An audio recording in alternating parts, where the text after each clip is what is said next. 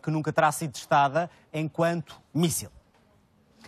Hoje foi então feito esse teste que lhe falei há pouco, com uma bomba de hidrogênio na Coreia do Norte. Este é um engenho explosivo muito perigoso. A bomba H pode ter um poder destruidor até quase 4 mil vezes superior ao da bomba de Hiroshima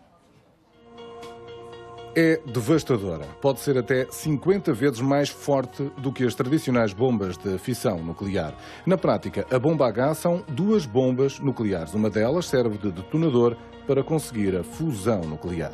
O dispositivo típico de uma bomba de hidrogênio é um elemento secundário, que é uma bomba de, de, de atômica tradicional, que ao detonar, certo, exerce pressão uh, nesse, nesse material que depois vai fundir nesse gás de trítio uh, numa região mais central, que vai uh, sofrer essa, essa, pressão extraordinária gerada na, na explosão nuclear tradicional.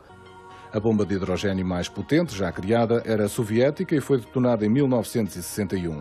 Este tipo de engenho explosivo pode ter um poder destruidor até 4 mil vezes superior ao da bomba de Hiroshima. No telejornal